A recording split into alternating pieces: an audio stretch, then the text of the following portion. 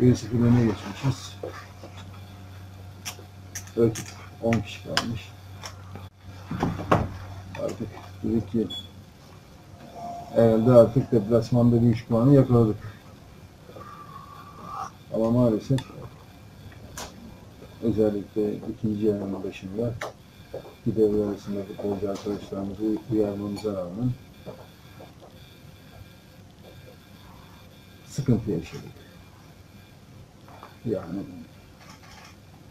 e, konsantrasyon eksikliği, belki de rakibin 10 kişi kalmasını vermiş olduğu bir rehavet. Ha bunun yanında tabii ki hakemin eğer izlediyseniz vermiş olduğu penaltı kararını son dakikada Çağrı'nın indirilişi, verilmeyen penaltı. Ama şu bir gerçek, bu kötü oynadığımız gerçeğini değiştirmez.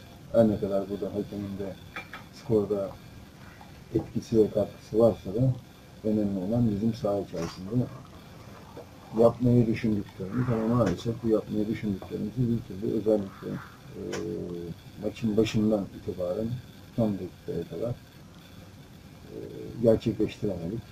Ki göreve geldiğimiz günden bugüne kadar İstanbulspor maçına kadar bence takım olarak oynadığımız en kötü maçtı.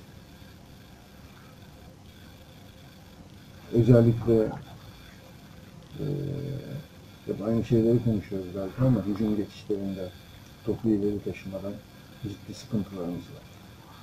Yani bu sorunu bir an önce aşmak zorundayız. Tamam iyi güzel ligin en az gol takımlarından bir tanesiyiz. Ama bir diğer taraftan da Gaziantep Spor takımından sonra da en az gol atan takımız. Yani burada savunma anlamında tamam iyi güzel olumlu işler yapıyoruz ama pozisyon üretmede ve topu özellikle ikinci bölgeden üçüncü bölgeye taşımakta ciddi sıkıntılarımız var. Tabii ki bunda birkaç tane nedeni var. Sadece e, burada şu anda mevcut e, oyuncu kadromuza inanıyor, güveniyoruz. Özellikle hücum geçişlerini iyi yapabilmelerini sağlayabilecek bir takım antrenmanlar da yapıyoruz. Ama burada önemli olan tabii ki bu oyuncu profiline de sahip miyiz? Bu da bir soru işareti. Onun için mevcut kadromuza da e, yapabildiğimizin, özellikle hücumsal anlamda yapabildiğimizin en iyisini yapmaya çalışacağız. E, yani dediğim gibi ligin en az gol yiyen takımlarından ama en az gol atan takımlarından biri olmamız e, sıkıntı yaratır. Ve yaratıyor açıkçası. Özellikle bu şartlar ne olursa olsun 10 kişi kalmış bir rakibe karşı e, maçı kazanmasını bu tecrübede yani şimdi takımımızda bu tecrübede olunca bir hayli fazla böyle bir takım maçı en kötü ihtimalle 1-0 bitirmesi gerekiyor diye düşünüyorum. Ha bunun yanında da hatta daha da fazla gol pozisyonu üretmemiz gerekiyordu. Bunu başaramadık. Yapacak bir şey yok yani. Tabii ki üzüntülüyüz yani. iki haftada özellikle Adana Spor İstanbul Spor maçında kaybetmiş olduğumuz 4 puan şu anda olsaydı zaten playoff potasının içinde yer alacaktı. Ee, yani takımımız da üzgün.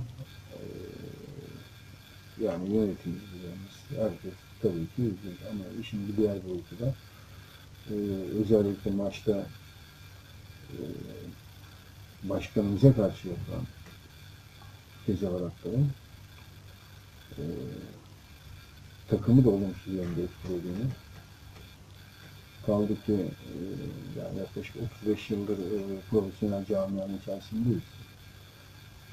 Çeşitli üst düzey takımlarda oynadık. Ama benim gördüğüm, yaşadığım yani iki aylık süreç içerisinde e, Sayın Başkanımızın hiç hak etmediği bir takım tezahüratların olduğu yönünde. Göreve geldiği günden itibaren yaklaşık 55 milyon TL olan borcu e, ciddi bir oranda e, yapmış olduğu çalışmalarla, çabalarla en az indirgemiş bir başkanı kalkıp da e, böylesine olumsuz tezahüratın bir haksızlık olduğunu düşünüyorum. Burada biraz daha özellikle e, tabii ki bütün taraftarlarımızı aynı kefeye koymuyorum. E, ama e, biraz daha vicdani olarak olaya bakmalarını rica ediyorum. Benim gördüğüm, birlikte olduğum iki aylık süreçteki başkan ve yönetim kurulu bunları hak eden kişiler değiller. Ee, Yani bugün bile eğer başkanımız işini gücünü bırakıp bir takım kaynak arayışı içerisindeyse ee, biraz daha e, taraftar olarak sağduyulu olmamız gerektiği inancındayım açıkçası. Evet. Eskişehir maçı. Yani her ne kadar finansal açıdan bir takım sıkıntılar da olsa, puan silme cezaları da olsa, bundan sonra da puan silme cezalarının gelecek olması muhtemel bir takıma karşı. Ee, içeride oynayacağız. Dağdaki Eskişehir Spor takımına bireysel olarak göze aldığımız zaman bu ligin en iyi kadrolarından birine sahip olan, olan bir takım yani bir camia. Ee, onun için işimizi çok ciddi bir şekilde yapmak zorundayız. Ee, burada hafta, özellikle hafta ortasında, geçen hafta ortasında yapılan açıklamalar, ana futbolcular tarafından dile getirilen konular, e, bunların hiçbir zaman bizde bir rehavete neden olmaması gerekiyor diye düşünüyorum.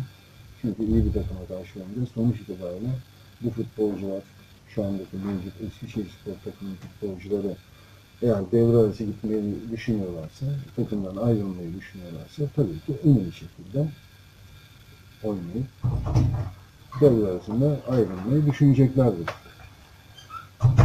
Onun için e, umarım dilerim bu 3 puanı ki Eskişehir spor maçında alırız. Yani her şeye rağmen o kadar olumsuzluklar hakkında açımızdan bakıyoruz. Yani işte sakatlık, işte bu maçta kötü oynamak. Bütün her şeye rağmen baktığımız zaman playoff potasında sadece aramızda 3 puan var. Yani bu kadar olumsuzluklara rağmen eee, diğer taraftan diğer takımlarda, üstümüzdeki diğer takımlarda kimisini alıyor, kimisi de puan kaybediyor. Tabii ki bu da bizim açımızdan açıkçası sevindirici bir olay. Çünkü eee ilk yarının son 4 maçına gelmişsiniz. Aranızda playoff potasından 3 puan geridesiniz. Bu da bizi tabii bir hayli umutlandırıyor. Ama önemli olan saha içerisinde her zaman söylediğim gibi doğruları yapabilmek. Umarım ve dilerim Eskişehir Spor maçında da doğruları yaparız. Artık yani 3 puanı da alır. Hem taraftarlarımızı mutlu ederiz hem de biz de mutlu oluruz. Evet, sormak istediğiniz Hocam kart cezaları var. Evet, Biraz daha yani sakatlıkları var. Erkan cezalı, Ramazan cezalı. Ayten'in durumu belli değil. Yani büyük bir ihtimalle oynamayabilir. Angan yok. Yani biraz sıkıntılıyız açıkçası. Yani yapacak bir şey yok. Yani zaten İstanbul Spor maçında da maalesef eee hani tamam kadromuzda bulunan her oyuncumuz bizim için değerlidir. Ama şimdi burada hani önde özellikle kullanabileceğimiz çok fazla oyuncu. En büyük sorunumuz o. Eğer bir sabit Ömer arkadaşımızdan sağında faydalanmayı düşünüyorsak artık biz zaten bunun bir göstergesidir diye düşünüyorum. Ama yapacak bir şey yok. Yani devre arasına kadar mevcut elimizdeki kadroyla yolumuza devam edeceğiz. Yani şu anda transfer yapacak halimiz yok. Peki hocam devre arasında ortalama hiç düşündünüz mü? Rakam verebiliyor musun ya transfer rakamıyla ilgili? Yani 3, 5, 2. Yani şimdi ortada görünen bir gerçek var. Yani bunu artık saklamamda bir anlamı olduğunu da düşünmüyorum ama bizim e, özellikle e, kenarları, ön kenarları oyuncu takviyesi kesinlikle şart. Yani bu bilinen bir gerçek yani. E, onun dışındaki e, yapılacak olan transferleri de tabii ki şu andaki hala aynı şeyi söylüyorum. E, şu andaki mevcut oyuncu kadromuz belirleyecektir yani. Devre arasına kadar gösterecekleri performans hangi bölgelere de e, takviye yapacağımız konusunda belirleyici olacaktır. E, benim her zaman söylediğim aynı şey. Yani e, hiçbir zaman devre arasında transfer yapıp da e, hem ekonomik anlamda da e, kulübü de sıkıntıya sokma düşüncesi içerisinde olan bir hoca değil mi? Yani ama e, ihtiyaç halinde de, zorunluluk halinde de bu transferleri madem bir playoff hedefimiz var, e, onun için bu takviyeleri de eğer ihtiyaç halinde yapmak zorundaysak da yapacağız yani yapacak bir şey yok. Hocam e, ilk defa transfere yönelik cümleler kullanıyorsunuz. İstanbul Spor maçının hatırına kullanıyorsunuz. Artık mevcut takıma özellikle belli, belli mevkideki oyuncular olan hani güveninizi mi kaybettiniz artık? Valla güvenliği kaybettim e, kelimesi değil de şimdi o bölgede de beklenen oyuncularımızdan istediğimiz verimi alamıyoruz. Ha, o bölgede oynayan oyuncuların e, baktığımız zaman e, yani sakatlanıyor, düzeliyor, 20 dakika oynuyor, tekrar sakatlanıyor. İşte Aytebi var diyor, ve Angan bir var diyor. E, Samanas'tan istediğimiz performansı alamıyoruz. Yani burada özellikle e, yabancı oyuncu transferinde e, yapılan transferler şimdi baktığımız zaman yani şimdi Ayıp'ı sezon başı kim istemez? Ya da Angan'ı sezon başı kim istemez? İşte Samaras'ın geçmişi tamamen Samaras son 3 senede e, çok fazla maç sayısı yok. Ama e, kariyerli bir oyuncu. Yani kim istemez ama bu arkadaşlarımızdan maalesef e, yani istenilen verimi alamadık.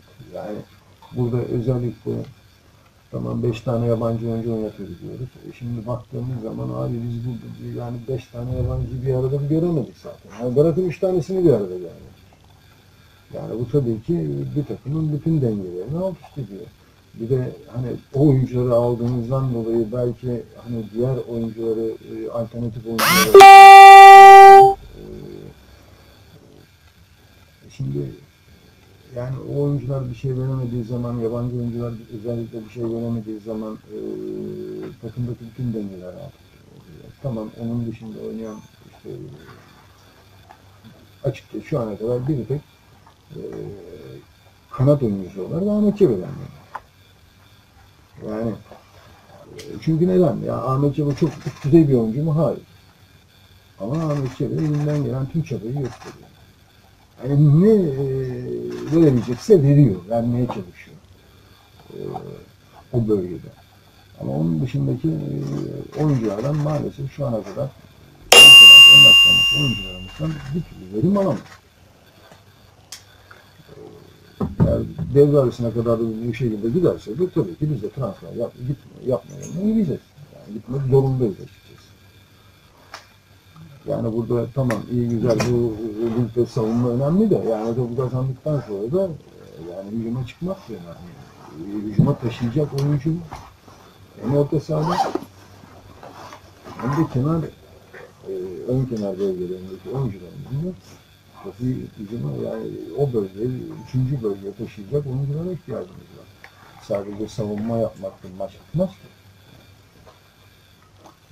Tabii bu anlamda e, zaten her şey ortada yani E, zaten puan durumları, atılan yenilen golleri şöyle bir göz önüne getirdiğimiz zaman dediğim gibi yani ligin en az gol yiyen takımlarından bir tanesi ama abi Gaziantep Spor'dan sonra da en gol atan takım. Yani bu çok aslında üzücü bir olay. Yani bu takımın e, şartlar ne olursa olsun şu andaki mevcut oyuncu kadrosuyla bile daha fazla gol atması gerekiyor diye düşünüyorum. Yani İstanbulspor maçına kadar oynamış olduğumuz maçlarda pozisyonlara da girdik mi girdik. Ama değerlendirmede de sıkıntı. Yani hem taşımada hem değerlendirmede. E şimdi bunlar olmayınca tabii ki ligin en az gol atan ikinci takımı oluyorsunuz. Doğal olarak. Hocam Ahmet Burak faydalanmıyorsunuz. Bu da kanatta oynar gibi oynuyor. Hem bek hem Oynar gibi oynuyor oyuncu lazım değil bize. Yani orada o bölgede oynayacak oyuncu lazım. yok istifade etmiyorsunuz demek istedim. ya şimdi Ahmet Burak sonra gel zaten normalde bir Sakat mı acaba? Sakat Solda. mı? Şimdi yani zaten Ömer'i sağında kullanıyoruz. Şimdi e, zaman e, elimizde şimdi öyle bir konu ki bu. E Şimdi tamam iyi güzel Ahmet Burak Çolakeli atıyorum alalım soldaki ufuğu öne çıkartalım ya da ufuğu orada tutalım Ahmet Burak Çolakeli elimizde bir de Halil İbrahim var. Evet. E Şimdi o zaman Halil İbrahim'in eğer biz o öyle bir düşünce içerisine gittiğimiz takdirde Halil İbrahim'e valizini vereceğiz. Al kardeşim hadi güle güle. Şimdi, şimdi de o boyutu var. Eğer şimdi ya, Halil İbrahim'i de bu kadar sakatlıkta işte oynamayan oyuncuların yerini o bölgede oynatmıyorsak o zaman Halil İbrahim'i niye, niye diye tutacağız kadro içerisinde? O zaman o çocuğu bitirmiş olur. Yani İbrahim lazım. Yani onun, onun için tabii ki burada e, ha olabilir mi? Olabilir. Ahmet Burak Kolay'da önde de oynuyor. Ya da Ufuk'u da oynatabiliriz orada. Ama öncelikle o bölgenin oyuncusunu tercih etmekten yanayım. Hocam son haftalarda görülen kartlar sanki biraz gerginlikten dolayı pozisyondan çok gerginlikten dolayı kartlar görüyor. Takım üzerinde bir Ya baskı mı şimdi var? burada e, özellikle Erkan'ın görmüş olduğu kırmızı kart tabii ki tasvip ettiğimiz bir kırmızı kart değil. Yani burada yani Erkan'la da konuştuk, tekrar konuşacağız. Yani gereksiz e, o da her zaman şunu söylüyorum yani ayaklar tutunca kenara konuşmaya başlıyor. Bu genelde böyle 35 üstü e, oyuncularda genel olarak olur da. Ama e, bunu yani takımımıza da maçtan sonra söyledim. Özellikle bu yani görülen kartlarla ilgili tabii ki yani burada saha içerisinde doğruları yapmaya çalışacaksınız. Enerjinizi saha içerisinde kazanmak adına vermeye çalışacaksınız ki rakip takım oyuncularla dalaşmayalım. Ee, saha içerisinde dediğim gibi ayaklar konuşmadığı zaman çeneler başlıyor, başlıyor konuşmaya. Ondan sonra da problemler oluyor. Ya bu oyuncularımızla da zaten bu konuda ilgili konuşacağız. Yani özellikle Erkan'ın e, görmüş olduğu kırmızı kart profesyonellik adına olmaması gereken, yapılmaması gereken bir harekettir. Hocam kalan 4 maçın 12 potansiyel bir puan var ortada. Evet. Bu da önemli bir puan. Önemli. Bunların kaçını almayı düşünüyoruz? Yani evet, onu söylüyoruz da e, bir türlü gerçekleştiremiyoruz maalesef. Yani orada da 12 puan varsa 12 puan. Tamam. Ama bunun kaç tane mu? ne, ne kadarını? E, 12 puan değil. Yani ben bir şey söyleyeyim. Biz 9, alacağımız 9 puan ve e, belki bizi e, ilk yarıda playoff potasının içerisinde tutar. Ama tabii ki dediğim gibi 12 puana da talibiz. Hocam e, gol ve golcü sakatlıklarından, sıkıntılarından bahsettiniz. Muhammed Beşir'i hiç oynatmadığınızı düşünmediniz. 90 dakikada Samspor'da 2 gol attı. Kariyerinde de Muhammed, böyle gol attı. Muhammed Beşir'i özellikle bu maçta düşündük. Ama bizim e, sıkıntımız e, bu maçta hücum hattında e, sıkıntıdan çok topu ileri taşımada problemimiz var. Özellikle orta sahadan siz topu ileriye taşıyamazsanız istediğiniz kadar çift forvet oynayın. Bizim en büyük sıkıntımız oydu. Ramazan'ı da onun için oynamadık. Yani topu özellikle orta saha bölgesinden hücum hattına taşıyabilecek, e, pozisyon üretebilecek, işte aralara top bırakabilecek ya da savunma arkasını görebilecek bir oyuncu ihtiyacımız vardı. Onun için aldık. Yani Muhammed Beşir'i e, olabilir. Onu oynasaydı Gökçe orta sahaya biraz daha yakın yapmamız gerekiyordu. E, yorulmuş bir Gökçe orta sahada ne kadar savunma anlamında katkı sağlardı. Bunların hepsi soru işareti tabii yani. Ya bunlar tabii ki göreceli e, şeyler yani. Muhammed alırdık belki çift forvete döndüğümüz anda belki golü de yiyebilirsiniz. Mağlup da bitirebilirsiniz. Ya da alırdınız gol atabilirdi. Kazanabilirdiniz de. Onun için tabii ki baştan sonra o olsaydı da bu olsaydı da e, ama dediğim gibi bizim en önemli sorunumuz topu e, ikinci bölgeden üçüncü bölgeye e, hücum geliştiğini iyi yapabilecek oyuncu profiline genel anlamda e, sahip olmamamız zaten aslında. İkinci yarı biraz e, Çubuk'ta risk aldı. E, biraz daha işte adam eksiltme yoluna gitti. E, birkaç tane pozisyona girdik. Ama e, biraz da böyle takımımızda e, bu anlamda e, doğru zamanda e, risk alabilecek oyunculara ihtiyacımız var. Açıkçası. Hocam siz iki kanat oyuncusu eksikliğinden bahsettiniz ama sanırım bizi o kanatları da alsanız ikinci bölgeden üçüncü bölgeye top taşıyacak. Kilit pas atacak adam eksiği. Bunu takım içinde mi çözmeyi düşünüyorsunuz? Bu da transfer listenizde öyle bir isim ya da öyle bir mevki var mı?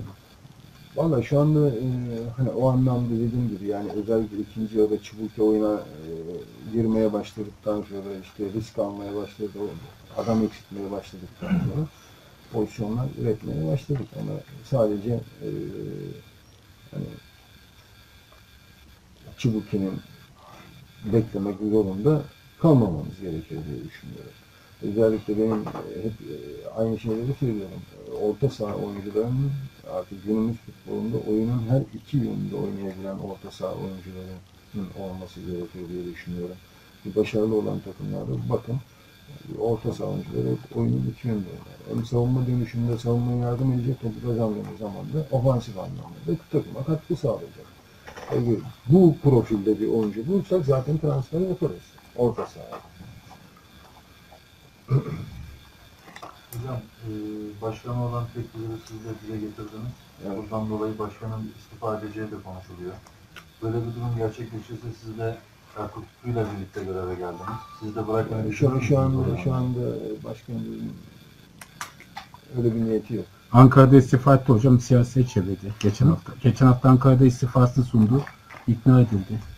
Bu maçtan. Yok şu anda yani herhangi bir şey yok. Başkanımızın istifası. Hı.